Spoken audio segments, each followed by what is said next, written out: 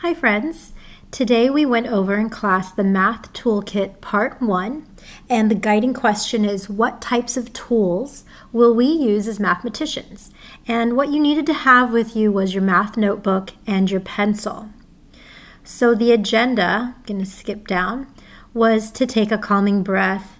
We set up our math notebooks and then we took notes on the math tools numbers 1 through 4 and then we applied um, these math tools to a problem, and then we practiced sharing our screen so that when we um, participate in small groups and I have materials for you, you can see them and pull them up for yourselves.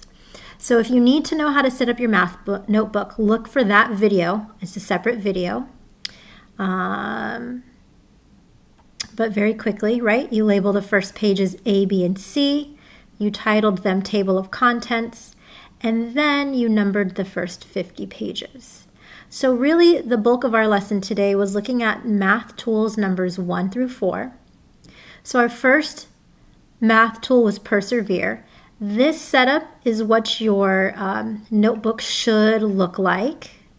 I'll just kind of make this shape. So, whatever is written here, whatever is written here is what you are going to write in your notebook. Okay, so that is what your notebook should look like.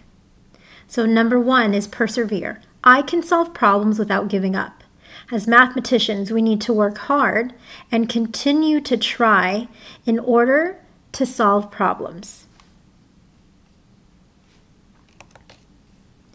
Our second math tool is represent. And so, what represent means, and you're going to copy this down in your notebook, is I can think about numbers in many ways. I can think about numbers in many ways. So, that just means you can represent a number in a variety of different representations. Okay, number three, our third tool is explain. I can explain my thinking and try to understand others. So, again, you're going to write this in your notebook. And what this means is it's not just that you get the answer or that you get the answer correct, it's that you can explain and tell us how you came to that answer and that you listen to others. And if there is something with their answer that you're not sure of, you can ask and explore um, how they came to their answer as well.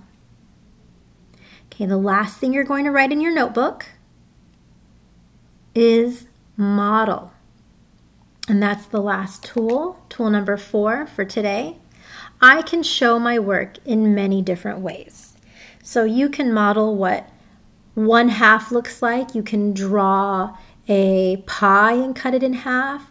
You can shade in one box out of two. So there's many different ways that you can show your work. Next, we made connections.